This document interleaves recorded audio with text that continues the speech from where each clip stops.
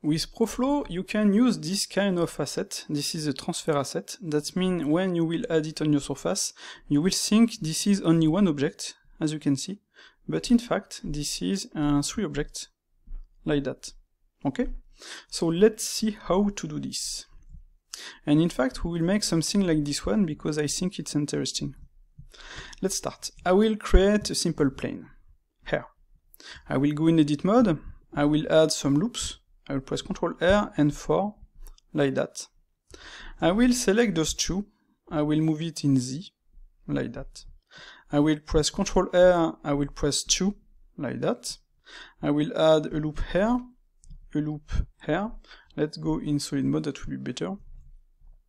I will select those uh, three faces, let's remove them, like that. I will select this, I will press F, F and F. I will do this, I will do this. Maybe you can move them, uh, press GG, like that. I will add a loop here, another here. Okay. So, I will make a little trick, you will see. I will select those ones, I will press G to connect them. G, like that. Select G, G, G comme Jenny, not comme uh, GG uh, Gertrude. Sorry my, for my English. I will select uh, this and this, and I will add a bevel with SpeedFlow That will be a bevel in uh, weight mode, as you can see here. So if you don't know how to do this, uh, you will select some edges. You will go on item, you will add a mean bevel weight to 1, and after you will add a bevel in uh, weight mode and you will add the number of segments you want, the profile you want, and the offset you want, okay? With SpeedFlow this is just uh, pretty, pretty, pretty fast. So now if we check on the wireframe, I will deselect, we will have this kind of result. So I will come back on my bevel and I will press shift and space to add a new one, like that. I will press uh, D I will select 2 and as you can see by selecting 2 that, that will give me this kind of result and this is uh, what I want. I want something like that. I will just uh, increase the um, auto smooth to 60 to have this. After if you want you can uh, for example select uh, ta -ta -ta I will make this. Select those points. Like that. And just move them to uh, make it correct when you will go in object mode. Up as you can see here. So you can do the same here. up up I will press GG like that. And now if I check I will have this so that will be perfect. The only thing I will do maybe uh, will be to uh, select this. Up up same for this. And let's scale it a little and select this and this scale it a little. Okay so should be correct like that.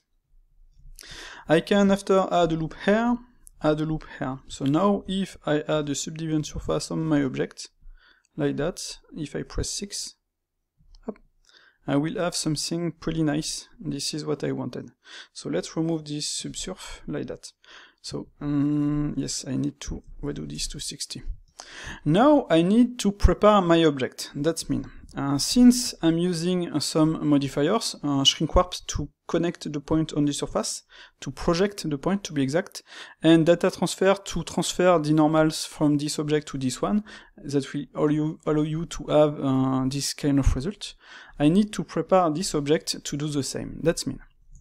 I will select uh, some vertices, I will select those ones and those ones, and I will add a vertex group. I will click on plus, and I will name it, uh, normally uh, I save it, pf underscore group underscore, and you will name it 0.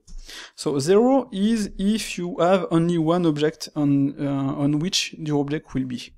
Okay, so assign it. Now, if you want to use this on two objects, you will select this, you will create a new one, rename it to 1, and I think those points here.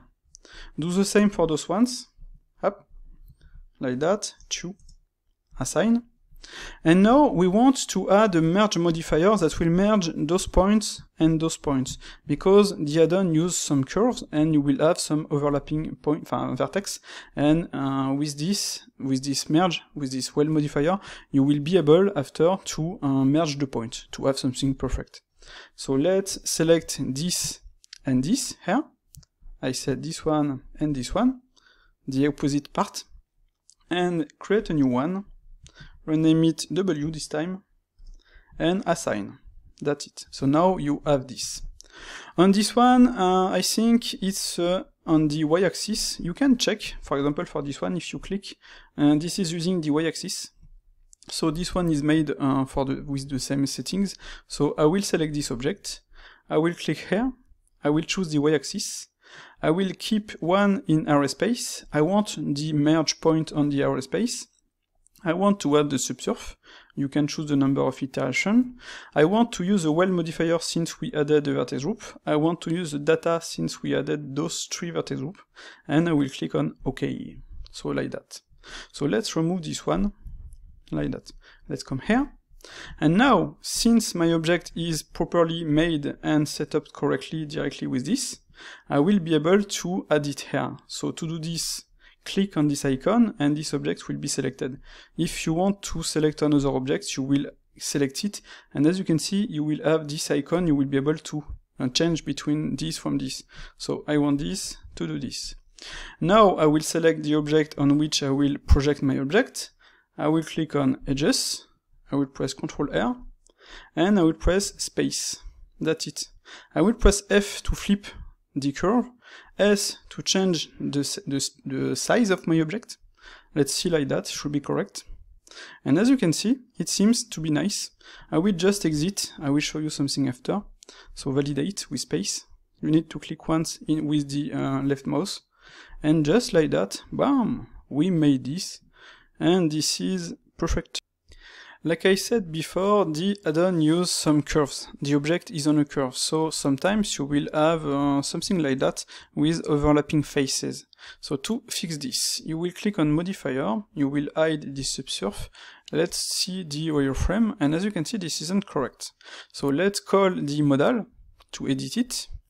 I will press S to make a scale, control to make a free scale, and shift to slow down a lot. And let's try to make something, let's see, like that. Yes, should be correct. And with this, I will validate to exit. I will have my subsurf. I will just have to activate my weld modifier and that should fix everything here. And depending of the results, you will just have to change the value of the weld. And that's it. I will hide the overlays and I will have my results and if I check everything is correct. And now this object is correct. It's uh, no overlapping fast etc etc so that's it how you make your custom app. Transfer asset like those ones here. And if you want you can save them to the asset management and after call them directly here in ProFlow to use them